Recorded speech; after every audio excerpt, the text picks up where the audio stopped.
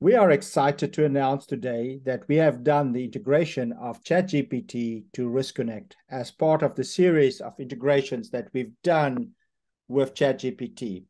So our use case, as in the other uh, integrations we've done, is actually creating a risk by capturing the new risk rec- uh, new risk record and then showing um, ChatGPT populating the key fields for us.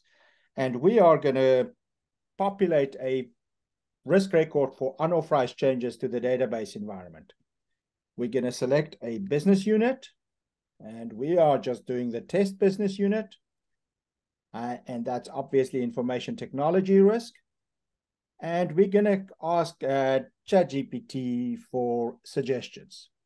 What we'll do then is just save the record, and it triggers a background request to ChatGPT to actually populate a couple of call it holding fields or temporary fields for us. Give us an example of the risk description, impacted laws and regs, and the NIST 853 potential controls, suggested inherent likelihood and impact. These are mere suggestions that the user can use to actually start uh, going through the details and capturing the details for the risk record. So as you can see, the risk has come back here with a description uh, based upon the risk that was provided.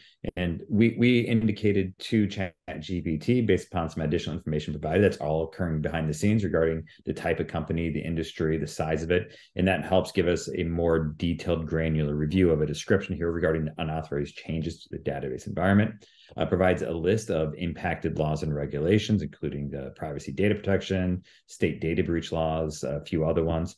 Uh, provides us a series of uh, impacted NIST controls uh, down to the specific uh, level of uh, AC2, AC3, and so on and so forth. And then at the bottom, you can see there where it says suggested inherent likelihood and suggested inherent impact. It provides us a suggested score and rationale regarding what that score should be from there you can actually go in and perform your assessment.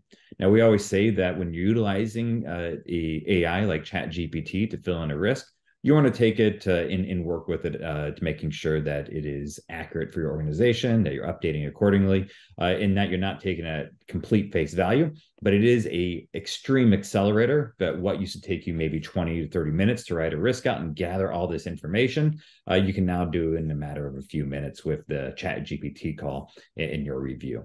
And this is just the initial integration use case of ChatGPT. Uh, really, the imagination is only the limitation here. If you have a good idea for uh, providing content into your GRC solution, whether it's Riskonnect or, or a different solution, uh, let us know. We, really, we are at the very beginning of what we can do with this integration capability.